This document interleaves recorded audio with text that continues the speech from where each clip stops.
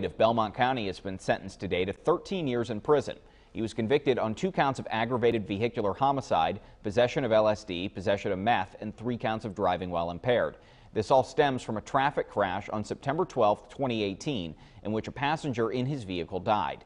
Today, that man's sister tearfully spoke out in court, and Boyd answered her. Donald, it seems to me that you have a long history of drugs, driving illegally, no self-control whatsoever. And I don't feel like you have any remorse whatsoever for what you've done. I would trade my life right now for his, right now.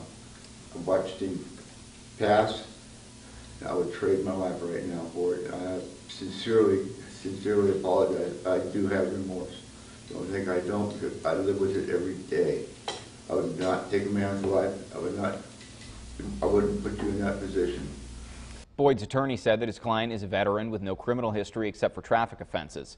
Boyd said he was never offered the help he needed, but Judge Frank Fregiato pointed out that Boyd was once a drug court participant and as such was given quite a bit of help.